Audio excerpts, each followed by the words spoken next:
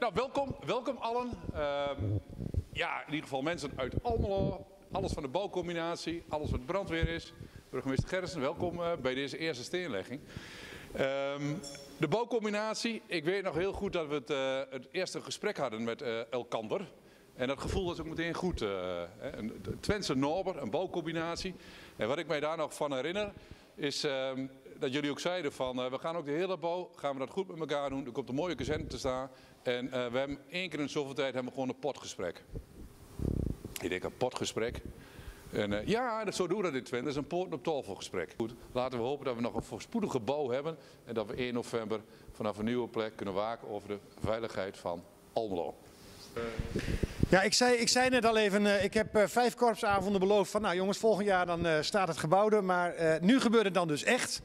Uh, en we hebben net, ik grapte net al, de laatste steen gelegd in dat gebouw. Want de bouw gaat, en dat is een compliment voor de bouwcombinatie, gaat ongelooflijk vlot. Uh, uh, elke keer dat je door de Brugstraat rijdt, dan zie je die nieuwe kazerne groter en mooier en volwassener worden. En inderdaad, het duurt nog een paar maanden en dan kan de brandweer erin. Um, en dat bewijst nog eens een keer weer dat de brandweer Overal in Nederland, maar ook de brandweer in Twente, ook de brandweer in Almelo, met beide benen in onze samenleving geworteld is. Dat is iets waar we, wat we mogen koesteren met elkaar. Dat doen we ook.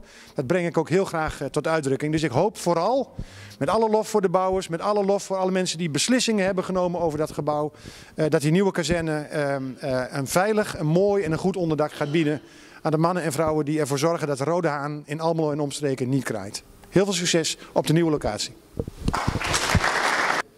Het belooft een geweldige mooie brandweerkazerne te worden. Een duurzaam en robuust gebouw. Doelmatig en efficiënt. Kortom, een uniek gebouw in de regio met moderne technieken.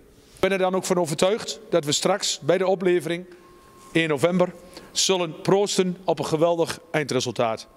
Op voorhand wil ik jullie, dames en heren van de brandweer, alvast bedanken voor deze fijne en constructieve samenwerking.